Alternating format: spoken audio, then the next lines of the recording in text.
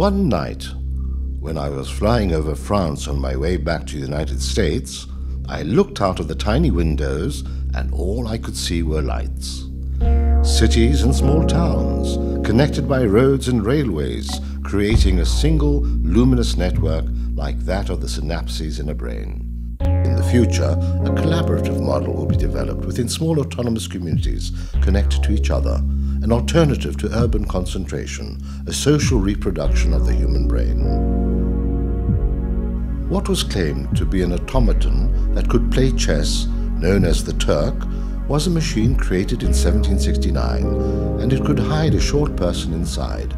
The person was positioned so that he could see the opponent's moves and respond by moving the mechanical arm of a dummy that looked like a Middle Eastern man. On the 10th of February, 1996, IBM's Deep Blue was the first computer to win a game of chess against the world champion of the time. It defeated Gary Kasparov.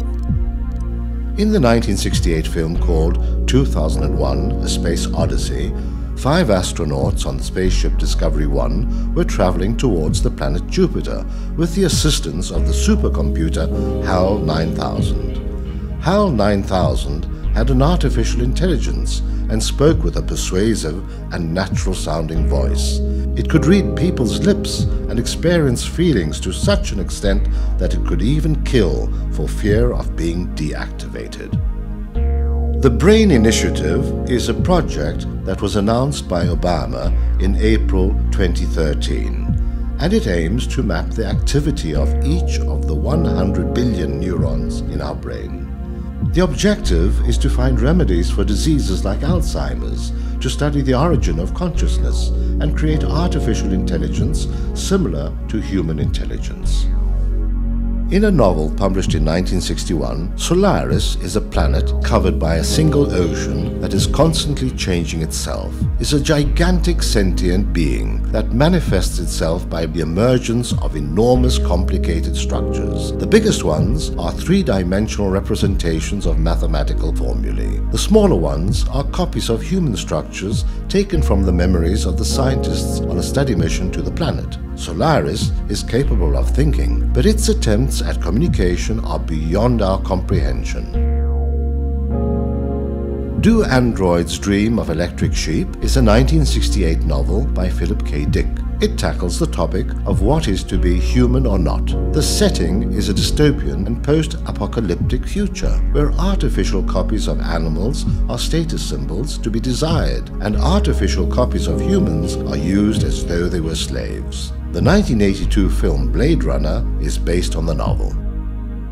Artificial intelligence, AI, is the ability of a computer to perform reasoning that is typical of a human mind. As it relates to computing, the field of study of AI covers the theories and techniques for the development of algorithms that make it possible for computers to have intelligent activity in a specific field.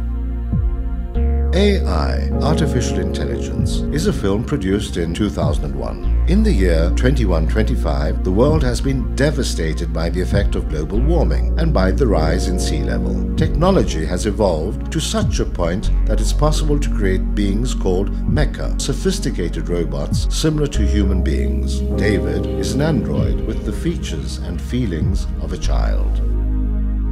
Black Cloud was written in 1957 by cosmologist Fred Hoyle. The story sees the arrival of an enormous black cloud of gas, a sentient organism seeking light and heat. By covering the sun, there is the risk that it will wipe out life on Earth. It's amazed to discover intelligent beings on the planet, and before leaving, it transmits knowledge to a scientist of such impact that it kills him. In 1859, the English naturalist Charles Darwin published On the Origin of Species, in which he explained that groups of organisms of the same species gradually evolve over time by means of the process of natural selection. In 1863, an article called Darwin Among the Machines put forward the idea of Darwinian type evolution of machines, with a time frame that moved faster than that for humans, and at a time in the future when machines would supplant humans as the dominant species. By using a 3D printer, it's possible to physically produce objects of varying complexity, ranging from a whistle to a car to a prosthesis, and it can even draw on examples and prototypes to be found on the internet. In the future, intelligent machines will reproduce and will continue to improve. Big data refers to such vast collections of data in terms of volume, velocity and variety that require specific technologies in order to extract value. The vastness of the data, in the order of zettabytes or billions of terabytes, needs massive parallel computing power. Big data is growing exponentially. 90% of all the data available today has been created over the last two years. Internet of Things, IoT, refers to the extension of the Internet to the world of objects and locations. Objects acquire intelligence because there is data associated with them, and it's possible to access information via other objects or via the Internet. Alarm clocks go off earlier if there's a lot of traffic on the roads. Gym shoes transmit competition times and distances to people in other parts of the world. Medicine containers give a warning signal if you forget to take your medicine. In the future, there will be stupid objects that have no software intelligent objects that are programmed for specific functions, intelligent and integrated objects that interact with each other and also with the Internet. In January 2015, the total population was 7.21 billion. There were 3.01 billion active users and 2.078 billion active social media accounts.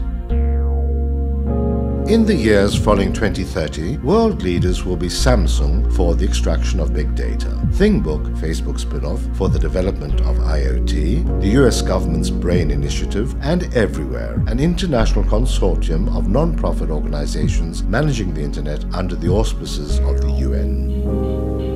Web, IoT, big data, and AI represent the nervous system, the senses, the memory, and the brain of a super being who will control the planet in the future and will escape human understanding. The moment this happens will be called singularity. In 2015, Stephen Hawking said on the BBC, The development of artificial intelligence could lead to the end of the human race the end of humanity, the singularity could come about at some time around the decade of the 2040s.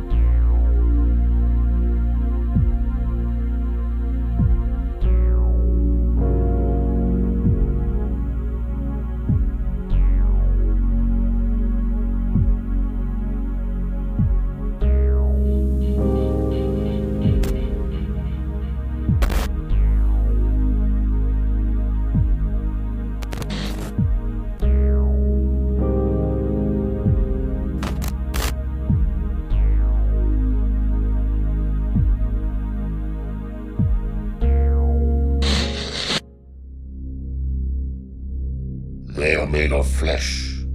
Flesh? Without a doubt, all flesh. It's impossible. And the radio signals? Messages to the stars?